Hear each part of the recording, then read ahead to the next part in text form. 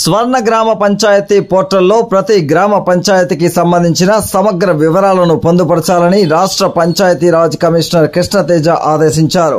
బుధవారం మధ్యాహ్నం పన్నెండు గంటలకు అన్ని గ్రామ పంచాయతీ అధికారులతో వీడియో కాన్ఫరెన్స్ ద్వారా శిక్షణ కార్యక్రమాన్ని నిర్వహించారు. చిత్తూరు ఎంపీడీఓ కార్యాలయం నుండి ఈఓ పిఆర్ఆర్డి పరశురామన్ పంచాయతీ సెక్రటరీలు డిజిటల్ అసిస్టెంట్లు పాల్గొన్నారు.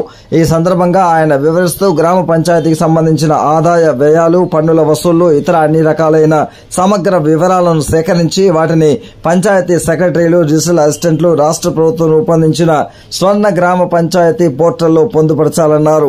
పొందుపరిచే విధానాన్ని వివరించారు. శిక్షణ పొందిన వారు క్షేత్రస్థాయిలో సిబ్బందికి వివరించి ఎప్పటికప్పుడు సమగ్ర వివరాలను పోర్టల్లో పొందుపరిచే విధంగా చర్యలు చేపట్టాలని ఆదేశించారు. ఈ డేటా అంతా మన దగ్గర ఆల్రెడీ ఉంది.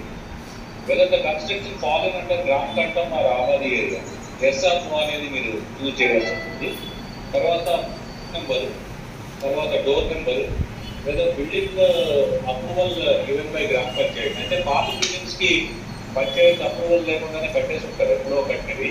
కాబట్టి అక్కడ నో అని పెట్టేయచ్చు